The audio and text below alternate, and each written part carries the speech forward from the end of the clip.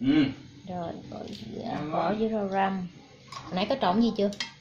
Nêm nếm chưa đường với chanh hả? Nghe mùi thơm dữ à. Ừm, ừm. trộn nè giờ bắt đầu trộn nè. Bánh tét ngày hôm qua đem lên đó hả? Tét chuối hả? Cái gì?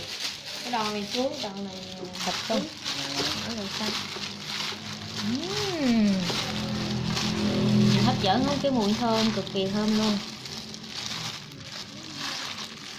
Ba kg lòng làm lên rồi ba kg lòng làm lên con nó đúng rồi á thêm miếng rau răm nữa rồi Rồi.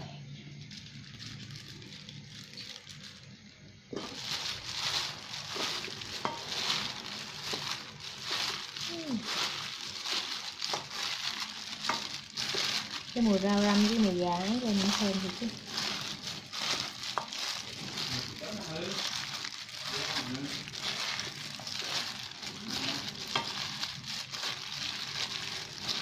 Cái bộ dầu ông sao ha mở nó ra nhìn bóng bóng như luôn mở ra cái dầu chứ.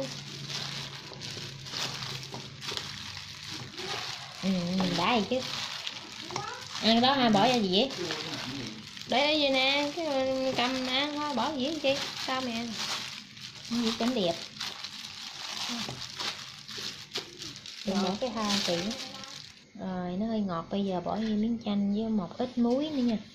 Thôi muối tiêu mình chấm muối bột muối trắng miếng á. miếng thôi à.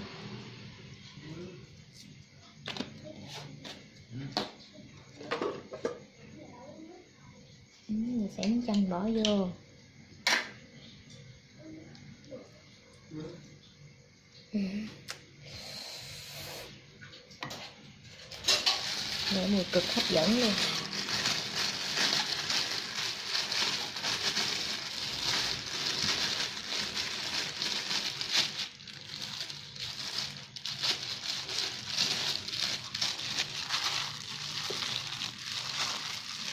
Trộn xong bỏ vô cái dĩa nha, Cái dĩa lấy mỏng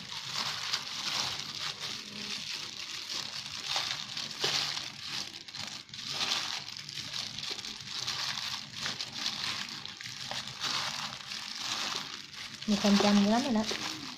Con thử miếng coi. Thử miếng đi coi được không? Được chưa? Cái gì? Dĩa. Dĩa nè thấy rồi kìa. Rồi, hốt vô cái dĩa đây. Ừ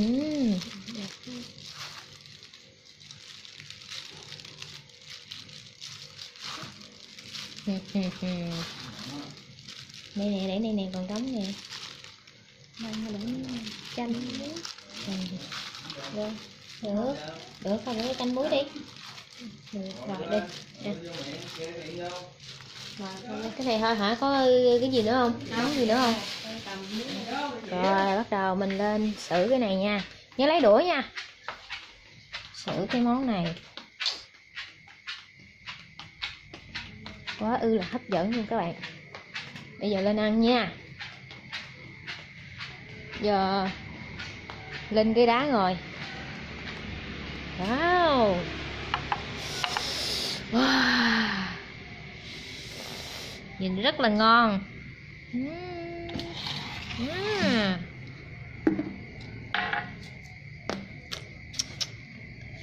rồi, bây giờ bỏ thêm muối tiêu với nặng miếng chanh. Có nặng chanh nữa không? Hả muối tiêu không? Mẹ ăn con mặn nữa đây. Còn cây có có có có chua dữ rồi.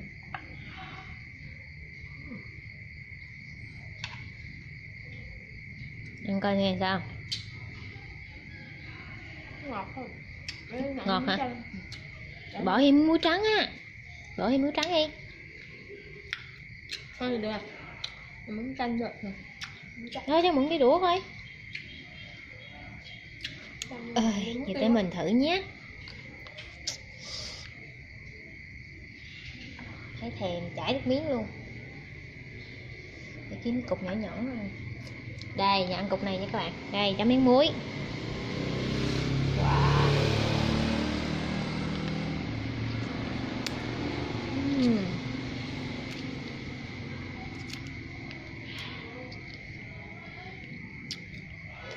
nó cũng được rồi mà.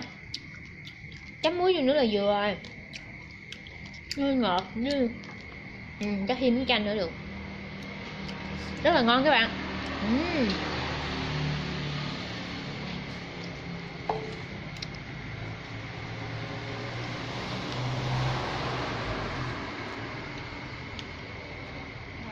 tuyệt vời.